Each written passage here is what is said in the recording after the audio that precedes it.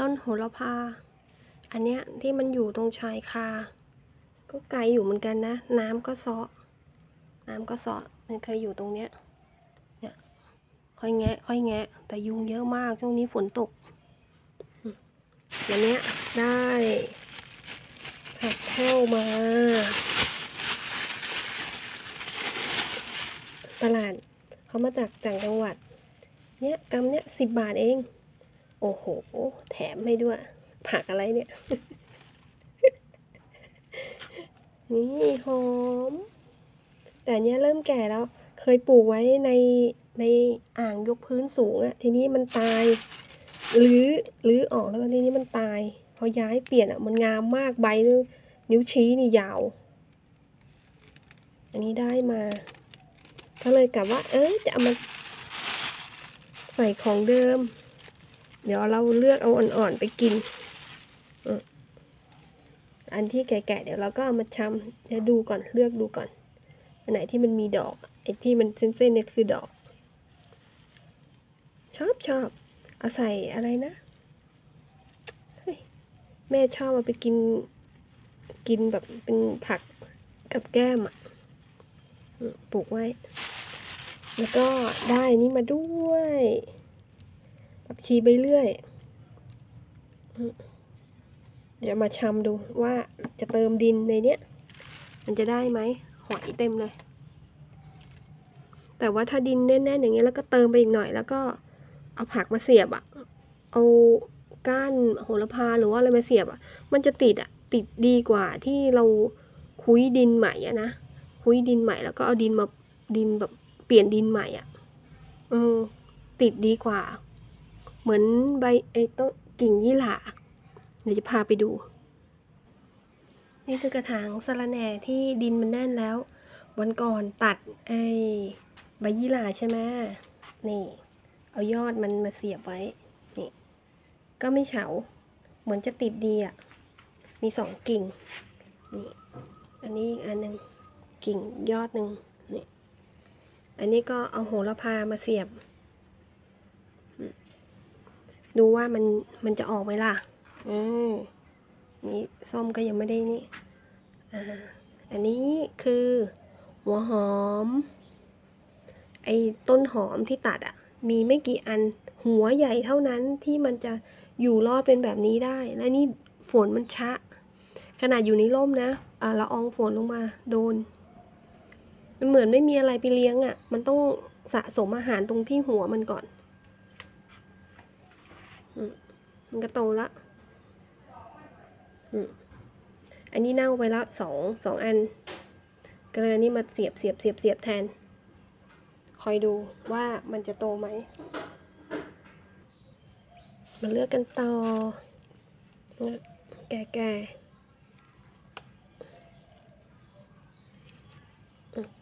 ก้านใหญ่ๆก็จะเอาไปเนี่ยต้องชำต้องน่าจะติดอะ เลือก รูดออกหมดเลยไหนอ่อนแล้วก็เก็บไว้ไว้ทำกับข้าวอะไรนะมีผักปอดเหรอเออ น่าจะใช่ผักปอดอืมเดี๋ยวจะไปเสียบไว้ใต้ต้นเออเอ๊ะไม่รู้จะได้เปล่าผักหวาน ไม่เอาดีกว่า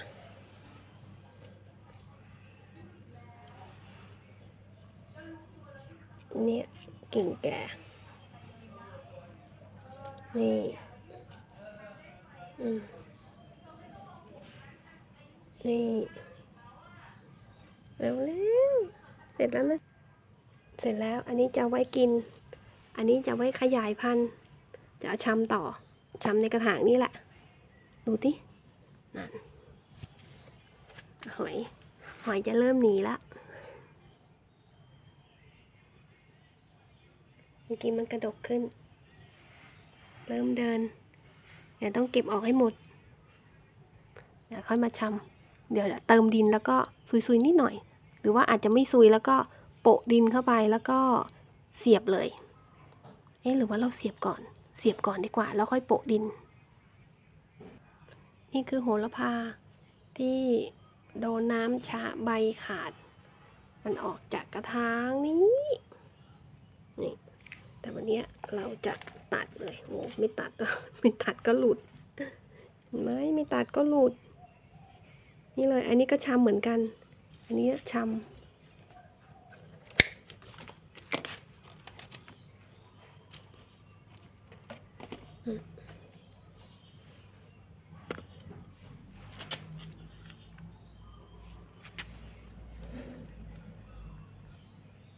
งั้นเดี๋ยวจะไปชำต่อ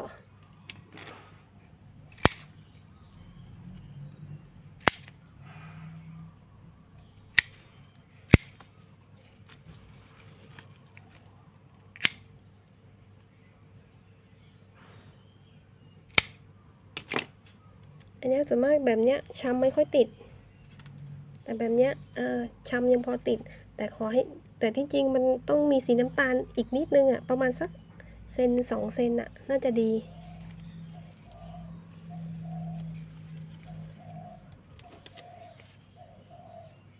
ก็เหมือนเดิม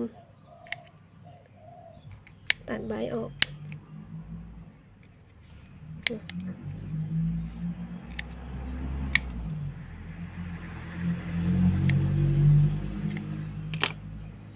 ประมาณเนี้ย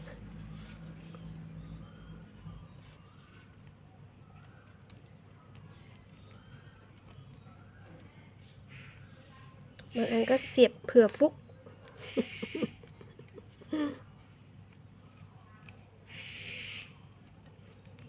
เดี๋ยวเอี้ยวมาแล้ว มันผ่านลูกมาแน่เลย ถ่ายไม่ค่อยได้ เอี่ยวเอี้ยว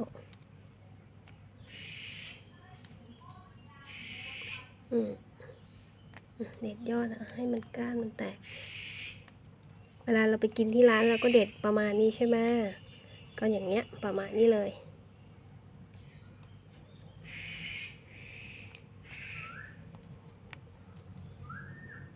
นั่นมีคนทักเอี่ยวเอี้ยวแล้ว มีคนชอบมาต่อนก พอต่อนกใช่ไหมมันมันดิ้นดิ้นแล้วก็หลุด บางทีอะเชือกติดนิ้วเท้ามาทำให้นิ้วเท้าเขาบวมเลยนี่เขาก็หงอยเขาไม่สบาย แล้วก็เห็นแล้วก็เป็นทุกข์ใจ อย่าทำเลย มันอยู่ข้างนอกมันก็อยู่กับครอบครัวมาบางทีมาต่อเขาอะมาต่อนกเขา บางทีลูกมันรออยู่ที่รังอะน่าสงสาร คิดดูดิ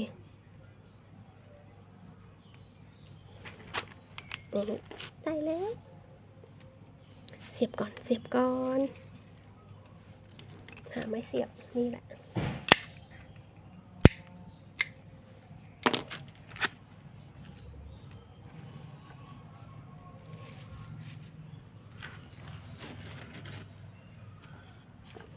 เคลียกัน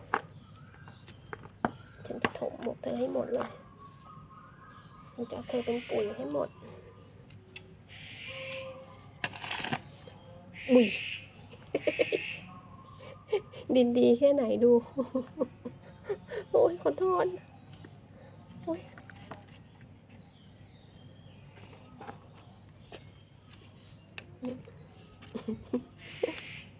ตกใจหมดเลย โอ้ไม่ดิ้นเลย เอา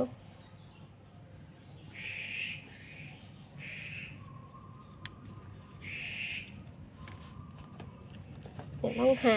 อะไรมาล้อมซะหน่อยอืม ประสานเสียงกันเอี่ยวเอี้ยว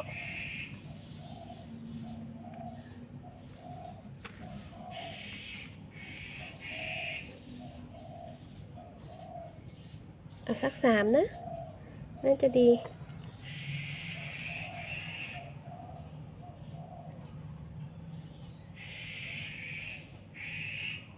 โอ้ย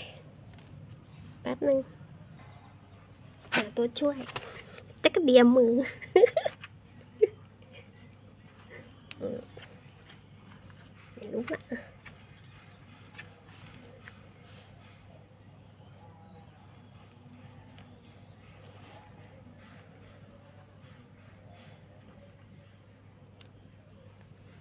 ไม้ก็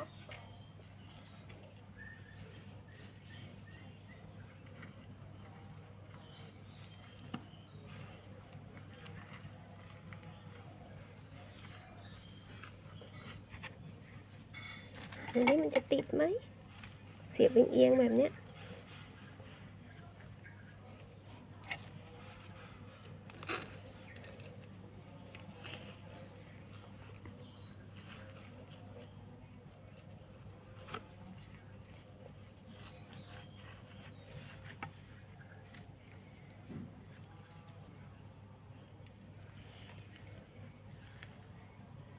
อุ้ยตายแล้ว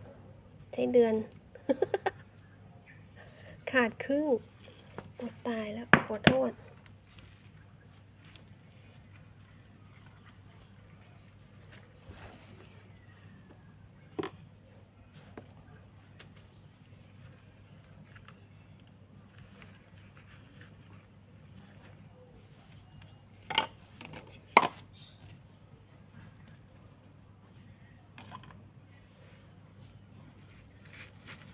อืมเหลยเย อะเลย ประมาณนี้ดูมันก็จะเติมดิน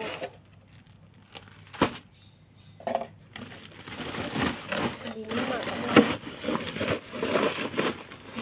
แห้งกัน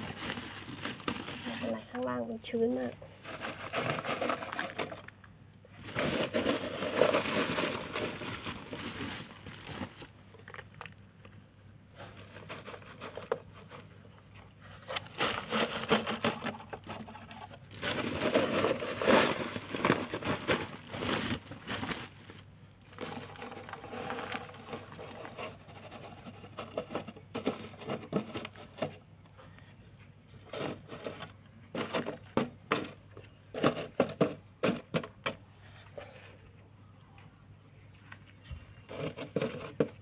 บุกสิบุกเอียงๆอย่างนี้ได้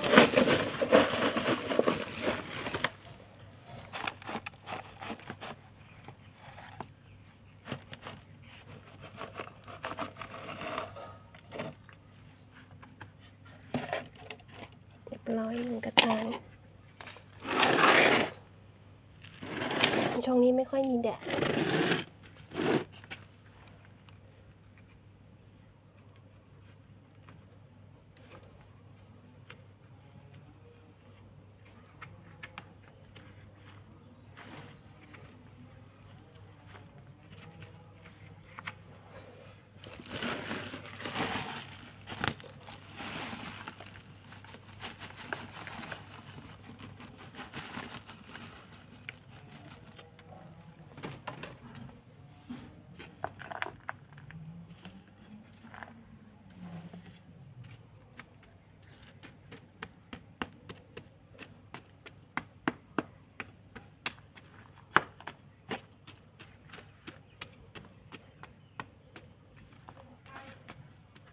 คอยเติมดินปรุงดินตลอด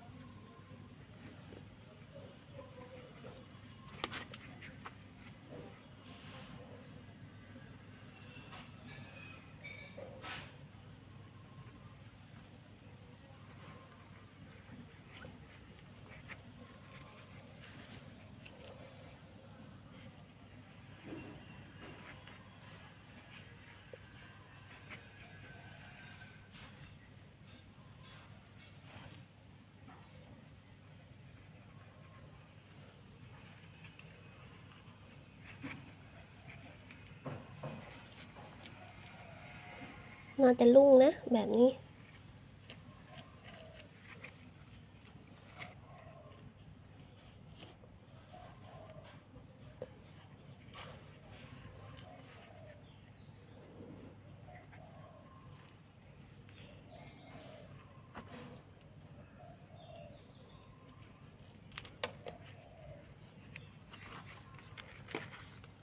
เสร็จแล้วเหลือเดี๋ยวไปแช่น้ำไว้ก่อน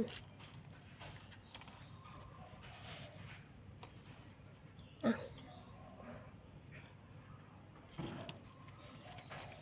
มัน ปลูกสองแบบ ดูดิ อันไหนจะเวิร์กอันนู้นหรือว่าอันนี้เดี๋ยวค่อยมาดูกันเนาะยกหลบนิดหน่อย เติมน้ำนิดๆแค่ให้ข้างบนชุ่มข้างล่างมันแฉะแล้วตัวนี้ก็เหมือนกันดีข้างบนแห้ง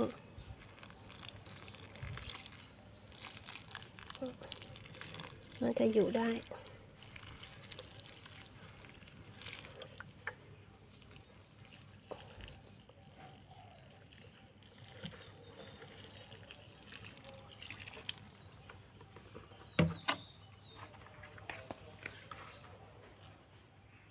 ผักบุ้งเน่าไปแล้ว เดี๋ ยวจะลองวิธีใหม่ อันนี้เลมอน เลมอนนี่เป็นกลัก อันนี้มะละ ยังไม่ได้ทำค้างอยู่ที่เดิมอยู่เลยฝนมันตก อันนี้ฟักแฟงโหยดูมดแดง มันร้ายอะ่ะ ดอกก็บาน อันนี้หนึ่งลูกใช่ไหมพอพอได้ลูกแล้วก็อือหือข้างบนก็อีกหนึ่งลูก นู่น เห็นชัดๆเลยว่าออกลูก ตรงนี้ ตรงนี้ ตรงนี้ นี่ เห็นไหมตรงเนี้ย ใช่เลย เราผสมอย่างเดียว เมื่อกี้ก็ตัดไป ตัดเอายอดที่มันมีไอเพี้ย เพี้ยขาวๆเนี่ยเป็นเม็ดเม็ดเม็ดเม็ดเม็ดเม็ดตัดแล้วก็เหยียบเลย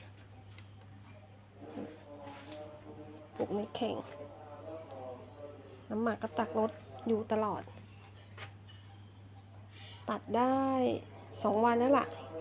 ใบฟักทอง อยากให้มันแตกยอดเยอะๆอุ้ยเมื่อวานยังสีอ่อนๆอยู่เลย พอตัดยอดปุ๊บ เอ้ยตัดใบปุ๊บ สีเข้มไปเลย เนี่ย ได้สองยอดแล้ว ตรงนู้นก็ตัดตัดหมดเลย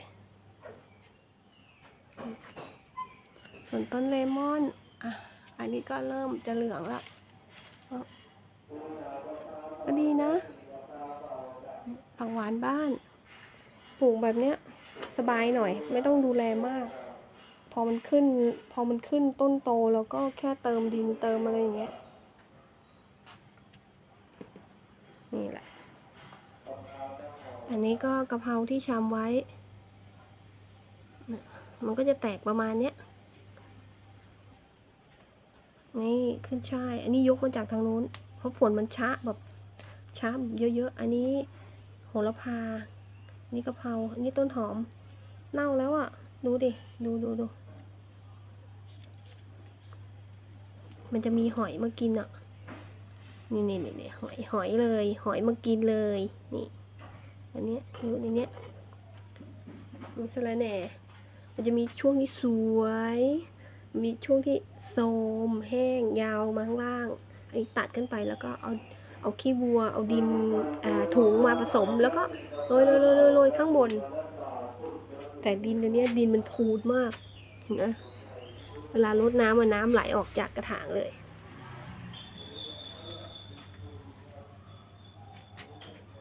นี่พอ ลดน้ำหมักไปปุ๊บ ออกมาอีกแล้วดอก ออกมาแบบว่าให้ชื่นใจอะ่ะ แล้วก็เธอไม่ติดลูก เธอก็ไม่ติดติดลูกลูกก็ยังอยู่ ไอ้ที่ทิ้งไปช่วงมีอยู่ช่วงหนึ่งมันเหมือนมันสะดุดสารอาหารไม่เพียงพอแล้วก็ลูกอ่าลูกที่ลูกรุ่นแรกอะ่ะ มันแก่แล้วก็เลยตัดออกตัดออกก็ดีขึ้นนี่ไม่ทิ้งลูกเลย ตรงนี้ แล้วข้างบน ผักบางก็เริ่มแก่หมดแล้ว เม็ด เดี๋ยวเขาก็มากู้กู้กู้กู้กันแถวนี้ นี่พวงใหญ่มากนี่โหระพาสงสัยต้องหาอะไรมาจิ้มใหม่แล้วล่ะ อันนี้ก็หมักไว้ หมักถุงไว้ ใส่เศษ พอพอเราตัดเขาใช่ไหมนี่ต้นอ่อนๆขึ้นพุ่งเลย เมื่อวานดีดไปทีหนึ่งนอนตัวสีเขียวนี่ลูกก็ยังอยู่ อันนี้ก็บานช่ำๆจะหาอะไรหุ้มก็ไม่ได้หาหุ้มสักที แต่วันก่อนเติมน้ำหมักไปแต่เหมือนเขาแบบชอบ ลูกเยอะมาก ดอกแก้วโหระพาตัดไปเมื่อวาน มันก็ยังไม่หายเหลือง อันนี้ก็จะเริ่มหงิก พอเราทิ้งไว้ก้านหนึ่งอะมันก็จะออกดอก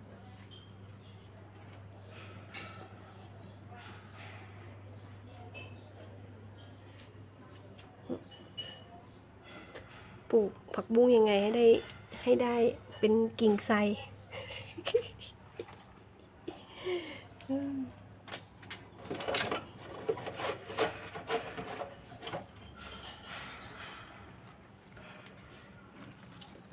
เขาข้างบ้านเขาทำโต๊ะไว้ เอาคืนเข้าไป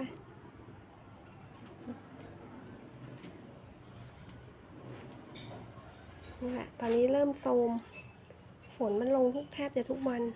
อ๋อ มันมีอยู่กิ่งหนึ่งกิ่งนี้มั้ง ที่มันไอ้น้องแต่เขามากัดแล้ว ก็เอาดินมาหุ้มไว้แล้วมันก็ออกรากใช่ไหมมันก็กลายเป็นต้นนี้เลย เนี่ยเป็นตุ้มไปเลย อันนี้ปลูกเลยลอยๆอันนี้คือยอดเขาเลย แล้วอันนี้คือกิ่งที่ที่เราตัดทิ้งแล้วก็มาเสียบไว้ อันนี้คือ ยอดยีหร่าเอามาเสียบใบ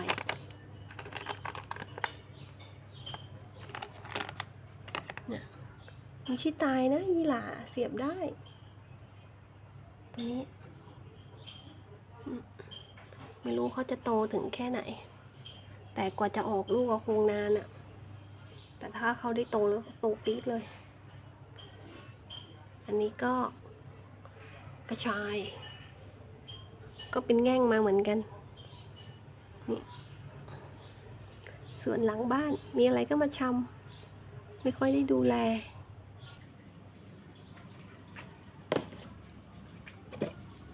แก้ว ฟ้า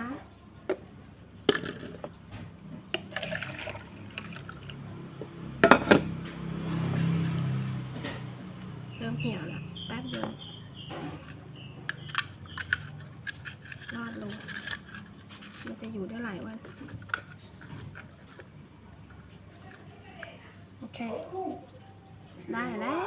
ว แค่นี้แหละ เก็บ ไว้ก่อน